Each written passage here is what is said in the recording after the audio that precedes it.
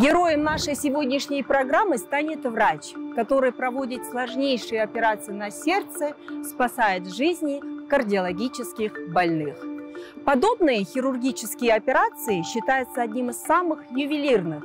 Помимо максимальной концентрации внимания, для доктора еще нужна огромная физическая выносливость. Ведь одна операция на сердце может длиться по 15-16 часов. Я Инур Тажина, врач-терапевт, кандидат медицинских наук. В нашей программе мы говорим только о научных фактах и опираемся на доказательную медицину.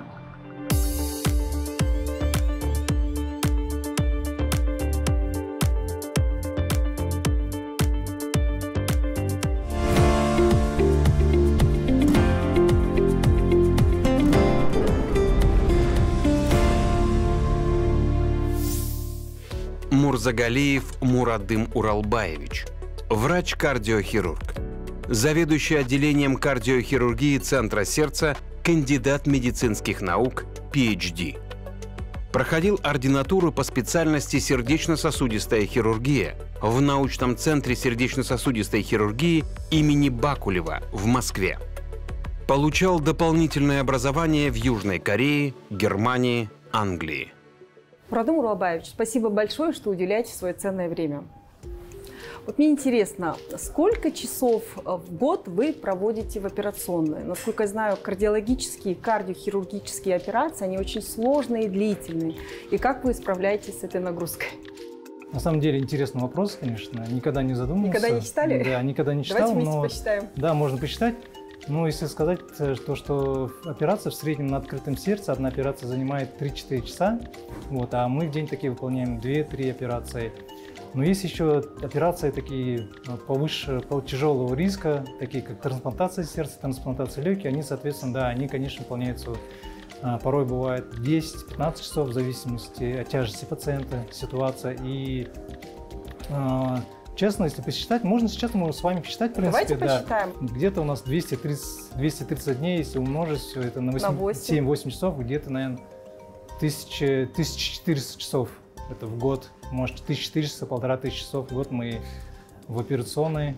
Вот. И, ну, и для меня это первый раз я посчитал. Это интересно, Разве конечно. доктор не герой? Более тысячи часов проводит свое собственное время в операционном блоке и проводит операции. То есть, если, как говорит доктор, 230 операций в год, он помогает, Мураду Муралбаевич помогает 230 людям, то есть спасает их сердца. Можно вам пожать руку? Спасибо большое. А, У меня еще такой вопрос. А, На сегодняшний день, к большому сожалению, болезнями сердца страдают чаще всего молодые люди. С чем это связано? А, Я думаю, следует такое, да, э, удручающая такая статистика, то, что, э, к сожалению, мы сталкиваемся с тем, что больше становится пожилых, действительно, вот, в приходе к нам, вот, и пациенты молодеют. Очень много факторов, среди, среди которых следует отметить, это, скорее всего, малоподвижный образ жизни. Все-таки Малоподвижный малоподвижный образ жизни, жизни. да. Это питание. Она, к сожалению, в, в- эру этих энергетиков э, очень много пациентов приходит с э, артериальной гипертензией, нарушением ритма. Я думаю, есть это прямое влияние, есть труды уже, статьи научные, которые доказывают это. И стресс, наверное, вот это быстрое меняющаяся Ритм тенденция, жизни. ритм жизни, вот, э, в связи, она тоже может быть влиять это. И инфаркт молодеет. Знаете, с вами согласна, потому что вот часто наблюдая за молодыми, как они покупают энергетики, очень много их пьют, когда задаешься вопросом, спрашиваешь у них, почему так много, они говорят, мы очень много работаем, у нас много ночной работы. То есть практически отсутствует режим сна и Режим отдыха. сна, сожалению, а это да. отрицательно влияет на работу сердца, соответственно, все вот эти инфаркты, инсульты могут быть причиной, да? Да, и Одна из жизнеугрожающее причин. нарушение ритма. И таких ситуаций у нас э, с каждым годом все больше и больше становится, к сожалению. Недавно в вашем интервью я прочитала о том, что э, применение, внедрение малоинвазивных технологий является отечественным таким прорывом в кардиохирургии. Можете рассказать об этих? Ну, на самом деле, методов? э, миниинвазивные технологии – это сейчас такая мировая тенденция. Вот, э, и в мире с учетом развития самой кардиохирургии, уменьшение разрез и потребности пациента, когда они сами хотят, сами пациенты. Это, и это доказывает тем, что Соответственно, по сравнению с более разрезами, то, что классическими ранее применялись, они, соответственно, уменьшают время проведения послеоперационного. Соответственно, меньше болевой эффект будет, и пациенты быстрее начинают реабилитироваться. И в целом наш центр, он следует всем, старается следовать всем этим мировым тенденциям. Мы тоже сейчас выполняем миниинвазивные технологии, в том числе на клапанных сердца, при рожденных порог сердца, а, при ишемических болезнях сердца. Вот. И учитывая то, что сейчас есть возможность нам э, ездить в разные страны мира, э, мы можем с нашими коллегами, с иностранными коллегами, можем где-то на конференции вместе обмениваться опытом. И я думаю, э, у нас это, в принципе, стало более доступнее. А если говорить на простом языке, что такое малоинвазивная технология ну, для наших телезрителей? А, это а, методика Когда? или подходы к операциям, да, да? когда, а, во-первых, меньше разрез, то есть, если раньше разрезы были 10-15 сантиметров, то сейчас мы можем выполнять 2-3 сантиметра, а порой а, такие процедуры, как э, через, только через прокол в ноге мы можем имплантировать клапаны целые, такая тоже методика есть. Вот. И, сделать, э, например, при врожденных порог сердца, если раньше только был открыто, сейчас можем тоже через э, маленький доступ использовать всего 1-2 сантиметра, Э, э, и буквально госпитализация занимает бывает 2-3 дня. Порой. Это очень важно и полезно для пациентов. Конечно, очередь, и да? срок это реабилитации. Срок реабилитации. И если бывает это молодые люди, особенно для них это очень важно, это меньше разрез и меньше и косметические эффекты очень значимы. Вот. А, Успешно справляетесь, да. получается, да? Да. да. У нас это с успехом мы используем это, и э, с каждым годом это больше и больше мы стараемся как бы, диапазон расширить это. В вашем центре проводятся высокотехнологичные операции на открытом сердце. Вот хотелось бы узнать, какие виды операций вы проводите? А, ну, в, в наше, а, в первую очередь я провожу операции на открытом сердце.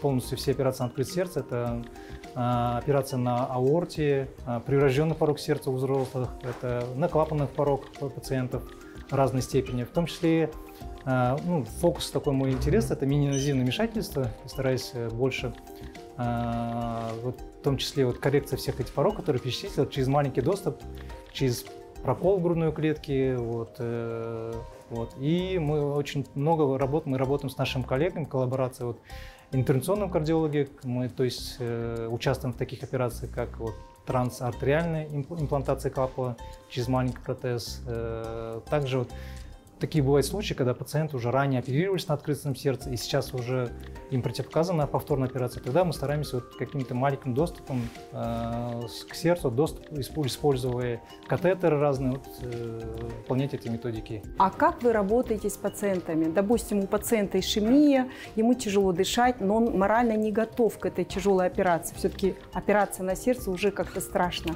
Что вы им говорите, как вы их наводите на операцию и убеждаете в том, что после операции операции, у них заметно улучшится качество жизни.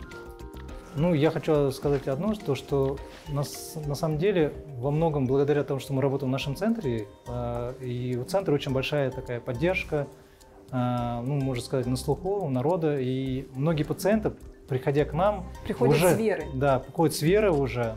Где-то в центрах они, э, может быть, разочаровались, может быть, они не настроены, и видя обстановку в нашем центре, мы кто-то уже ранее привлеченных, поэтому можно сказать, э, на 50% нашу работу делают другие люди, которые уже ранее оперировались наши, лечились у нас.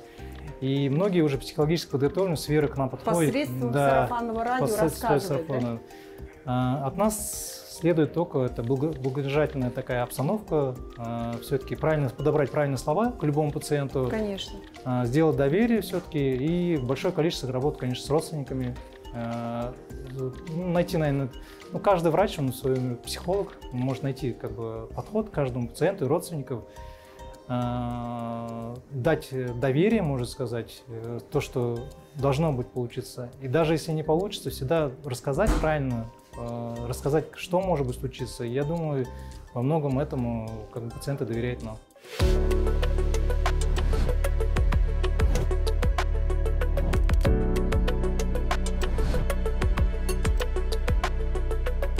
Центр сердца, где мы сейчас находимся, впервые открыл свои двери в октябре 2011 года.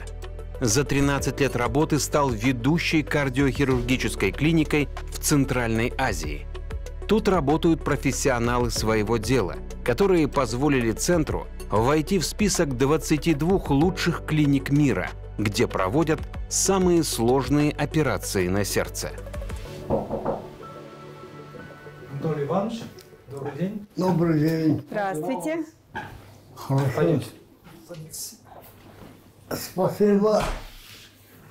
Как себя чувствуете сегодня? Вот сегодня хорошо. Гуляли, ходили сегодня? Да, Аппетит как у вас? аппетит тоже хороший. А, Что-то беспокоит? Боли, может быть? Ну, уже все. Головокружение? Все нормально? Да, на пять дней уже прошло. Все хорошо. Мы сегодня убрали у вас дренажи, Да, это да. трубки, которые мы ставим специально после операции. Мы сделали УЗИ сердца вам сегодня, у вас все нормально. Я боялся этого, но ничего страшного. Я же сердце. Я же говорил, мы вас обезболили, поэтому вы это не почувствовали. Спасибо вам большое. Не только вам, санитарам, медсестрам, медбратам, они так обхаживают тебя. Не дают пешком ходить, за руку держат. Правильно, потому что у вас ситуация была непростая, Да, вас было понял. критическое поражение, поэтому вам нужен такой уход, и вы должны передвигаться только с помощью медперсонала. Да, да. Вот, поэтому вот у вас браслетик специальный такой красный, он указывает на то, что вы должны только постоянно в сопровождении медицинского работника быть. По анализам у вас все хорошо, э, кардиограмма тоже, УЗИ сердца все хорошо показывает. Поэтому мы в течение двух дней будем планировать уже вас на выписку, если вы дадите согласие. Да, Анатолий Иванович, э, он поступил с критическим поражением сосудов. Вот, э, у него многососудистое поражение. э, И помимо того, что у него есть поражение сердца, у него есть поражение и других сосудов. Сосуды шеи, головы, ног. Вот, в таких случаях э, операция выполняется на открытом, показана на открытом сердце. А Есть два пути. Это с искусственным кровообращением, когда сердце останавливается, и на работающее сердце. Но ввиду того, что у него есть сопутствующее заболевание, операция с, э, с искусственным кровообращением, а, есть риски а, осложнений послеоперационный период. Поэтому мы а, вот э, есть вторая методика, это на работающее сердце, это не останавливая сердце, не применяя аппарат искусственного кровообращения, выполняем шунтирование. Шунтирование это э, когда берем сосуды с грудной клетки, с ног и в обход от пораженных участков накладываем сосуды. Мурадом Уралбаевич, вы сказали о том, что у пациента поражены сосуды сердца, шеи и других органов, да? В чем поражение? То есть там бляшки образовались Там или образовались бляшки, эти бляшки образовались... э, они м, препятствуют, да, Да. проходу кислорода, Да, верно? Вот а одно из таких грозных это когда бляшки образуются еще в сосудах шеи, э, которые несут кровь в головной мозг. Мгм. Есть такое критическое поражение. А, В таких случаях можем мы стентировать, это такая тоже методика, но бывает то, что сосуды находятся еще в труднодоступных участках, или когда невозможно стентировать их, так- в таких случаях э, можно наблюдать Анатолий Иванович, сколько вам лет? 75 будет в этом году. Хорошо выглядите. А что вы чувствовали до операции? Какие у вас были жалобы до, а сейчас как вы себя чувствуете? Была операция ясная. Ходить иногда невозможно, одышка. Одышка, да? Мгм. Я сколько больниц перепробовал, перележал, все советуют это, от этой операции делать. М. Без этого ни- ни- ничего нельзя. Долго решались на эту операцию? 4-5 лет. Настраивались, да? Да. Боялись. Вы благодарны доктору? А еще как. Эту операционную местные медики называют одним из главных последних достижений клиники. Это гибридная операционная. Тут могут выполнять хирургические вмешательства как на открытом сердце, так и мини-инвазивные технологии, различные виды диагностики, коронографию, шунтографию. Здесь проводятся одномоментные операции на открытом сердце и стентирование – эта специально оборудованная операционная позволяет работать хирургам-кардиологам совместно с интервенционными кардиологами. Интервенционная кардиология – это раздел кардиологии, который занимается именно катетерным лечением заболеваний сердца. Поскольку здесь не проводится никаких операций, то ведущие врачи не сердечно-сосудистые хирурги, а кардиологи. Сейчас мы находится, находимся в пультовой э, операционной. А, здесь вы можете увидеть э, ряд мониторов, э, где видно процедуры, которые выполняют э, хирурги. На данный момент? Да, на данный момент. А, здесь же э, это позволяет нам э, совместно с коллегами, например, обсуждать какие-нибудь сложные кейсы, а, где-то где мы можем подсказать друг другу, обмениваться опытом, и тем самым, не заходя в саму операционную, в этой стране, можно сказать, э, на этой стороне мы можем обсудить, где, здесь же можно поднять, есть архив данных всех пациентов, которые выполняют процедуру, мы можем ранее выполняем процедуры, если этому пациенту выполнялись, мы можем То есть параллельно архив, можете выразить, параллельно. выразить второе мнение, да? да? то есть, да, здесь же хранится наш архив всего центра по кардиограмму, УЗИ сердца, мы можем сразу же это параллельно открыть, историю поднять. историю поднять, и все это можем вместе как бы сопоставить, и тем самым можем, это быстрота, удоб, удобство, и тем самым ну, быстрота решения всех выполняемых процедур э, заложена в этой операционной. Это самая последняя наша операционная, вот, так называемая гибридная операционная, вот, и эти возможности есть вот в нашем центре. Угу. Сейчас на данный момент выполняется стентирование коронарной артерии, в случае а, тоже непростой. Пациент ранее уже выполнялась открытая операция на сердце выполнялась. Вот. Но в связи с тем, что прошло длительное время и сейчас риск повторной, очень высокий риск повторных операций, а, ему выполняется стентирование. То есть, э, если бывает такое, что по истечении там, 10-15 лет, может длительное время, когда другие сосуды уже забиваются, их нужно э, оперировать, вот, можно выполнить стентирование. Угу. Вот. Стентирование – это когда вводится лекарство, дилататор да, на пораженном участке сердца, да, верно? или в народе говорят его пружинка, то есть это так называемый стенд в виде пружинка, который раскрывает эту бляшку и тем самым… И дает проходимость, да, проходимость сосуда. сосуда. Да? Операция по стентированию сосудов сердца нужна для того, чтобы восстановить их проходимость при закупорке холестериновой бляшкой. Стенд не дает смыкаться стенкам и обеспечивает нормальный ток крови. Безусловным и обязательным исследованием перед стентированием является коронография – метод исследования сосудов сердца. Для этого используют специальный аппарат – ангиограф, который позволяет увидеть все патологические изменения – сужение, тромбы, стенозы корональных сосудов – Казахстанские медики давно и успешно помогают пациентам с такой болезнью. В этом году в нашей стране врачи смогли спасти мужчину с почти стопроцентным сужением сосудов сердца. Скажите, пожалуйста, а сколько лет живут э, после такой операции пациенты? Ну, в данный момент стентирования. Ну, на самом деле, э, все зависит от пациента. Э, есть определенные назначение врача, который должен следовать пациент, в том числе это прием препаратов, которые будут препятствовать повторному тромбозу. Если же пациент в дальнейшем будет соблюдать э, это образ жизни будет, э, походы к врачу и прием препаратов, то пациент живут длительное время, и тем самым вот наш опыт подсказывает, что все зависит от пациента и преемственности к терапии. Если же они все следят за собой, контролируют и вовремя делают так называемый чекап, то, я думаю, не ограниченное время. Угу. Вот вы говорили пружинка лекарственная, да, вот эта пружинка. Сколько лет служит на пораженном участке? А... Как часто их приходится менять? Менять их не нужно, это на всю жизнь. А, и в целом она длительное время может быть, 10, 15, 20 лет. Как я ранее сказал, все зависит от пациента. Угу. Могут ли казахстанцы данную операцию получить в рамках ОСМС? Все наши операции для казахстанцев, граждан Казахстана, выполняются в рамках, все бесплатно, в рамках СМС, в том числе такие высокотехнологические операции, как пересадка сердца, легких, искусственный левый желудочек, все они выпираются э, бесплатно. То есть сначала они наблюдаются у кардиолога по месту жительства, далее, если есть показания, собирают документы и на основании ОСМС, если он является плательщиком ОСМС, может поступить, получить да, эту операцию, э, это лечение. Ну, на самом деле, вот именно вот то, что перечень документов в наш центр, он абсолютно минимален.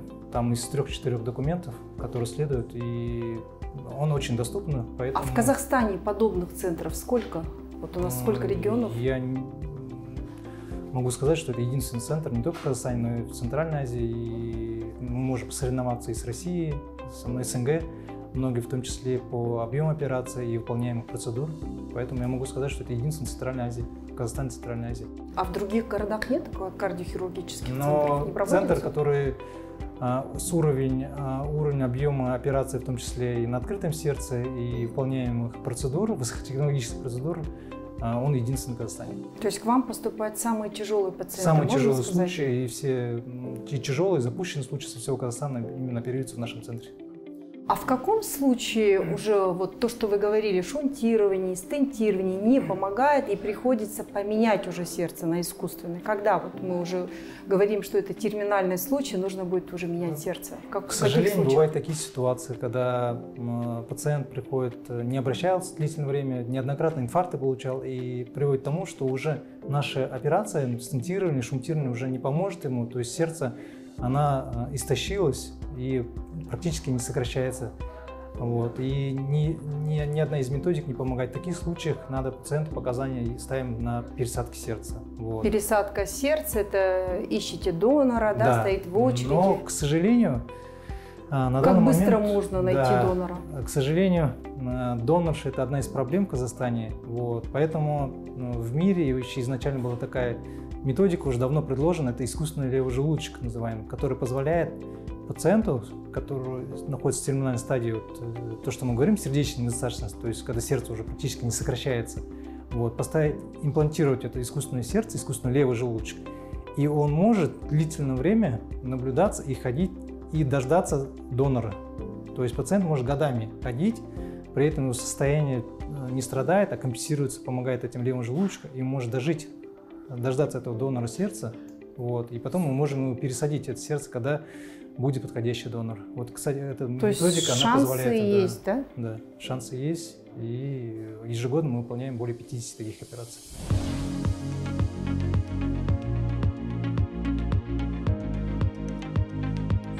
Ежегодно в Казахстане только от сердечно-сосудистых заболеваний умирает около 40 тысяч человек. Это очень большая цифра. К сожалению, сейчас именно болезнь системы кровообращения занимает лидирующую позицию не только у нас в стране. Эта тенденция характерна для всего мира. К счастью, в Казахстане есть такие опытные кардиохирурги, как герой нашей сегодняшней программы. Поэтому заболевание сердца можно вовремя выявить, а также вылечить. Врачи со своей стороны делают все возможное. Чтобы помочь пациенту, осталось только выполнять простые правила самим казахстанцам, проходить вовремя осмотры и следить за своим здоровьем.